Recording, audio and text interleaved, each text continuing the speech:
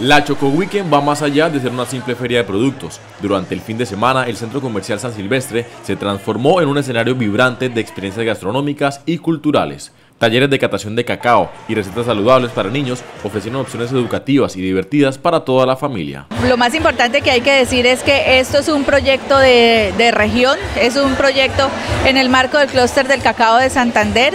El proyecto se llama Región Cacao y es esta actividad, con esta actividad que es muy importante para el proyecto, lo que, lo que queremos es dar a conocer cuál ha sido la evolución de todos los productores y transformadores de cacao del departamento de Santander, en especial municipios como San Vicente de Chucurí, el Carmen de Chucurí, Landazuri, Río Negro, El Playón, Lebrija, Florida Blanca, que hacen parte del proyecto Región Cacao. La diversidad de actividades no se limitó a lo gastronómico, bailes culturales y la puesta en escena de historias ancladas a la tradición del campo envolvieron a los visitantes en un ambiente festivo y educativo. Todo lo que la gente va a poder encontrar hoy aquí, los barranqueños y la gente que nos visita y que están en el Centro Comercial San Silvestre, pues los invitamos a apoyar lo nuestro.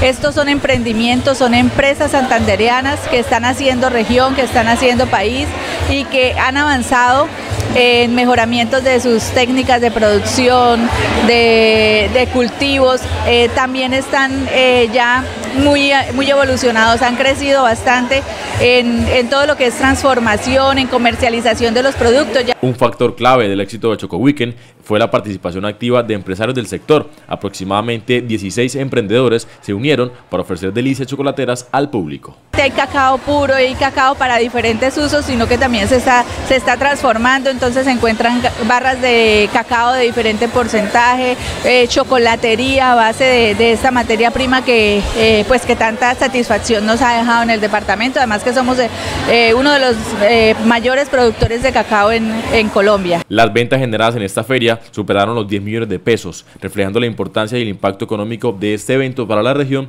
y sus empresarios. La feria se convirtió en un espacio de encuentro para la comunidad, fomentando el intercambio de conocimientos y valores entre los municipios participantes.